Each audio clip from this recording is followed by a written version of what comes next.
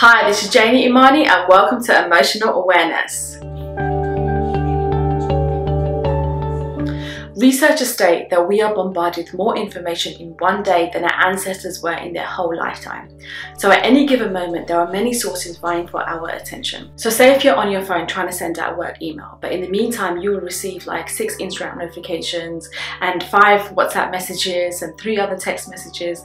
And so what should have just been a five minute email now took us 30 minutes because of all the distractions. All these distractions are pulling us in so many different directions and ultimately making us very inefficient with our time. So the spiritual teacher Dandapani states that energy is a finite resource and energy should be looked at in the same way that we look at money. So we all know that money is not limitless. We can either buy this or we can buy that and energy is in the same way. You can either do this or you can do that. And so every time we choose to do something, we take away from something else. How can we use our energy more efficiently? By setting boundaries, by intentionally saying no to the things that are not in your values and not where you want to be.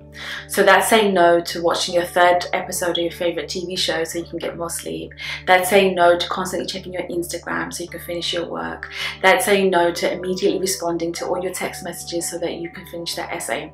So until we learn how to say no, we cannot redirect our energy wisely. What is the biggest challenge to using our energy efficiently? Our biggest challenge is our distraction muscle. And so our distraction muscle is growing and getting stronger every day because we're constantly practicing distraction. And so we'll be good at whatever we practice. If we practice concentration by forcing ourselves to do one task at a time, we will be good at concentration instead.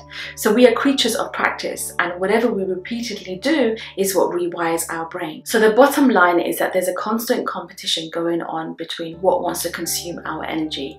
And the point is to concentrate your energy on the things that you want to manifest in your life.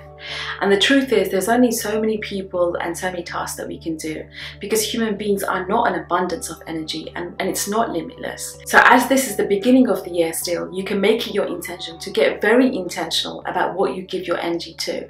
Because, like we said before, your energy is not infinite, and at the end of your life, you will be the sum total of what you spend your energy on. So, that's it for today. Thank you so much for watching, and make sure you tune in next Wednesday for another episode on social media and make sure you like, comment and subscribe and take care. Bye!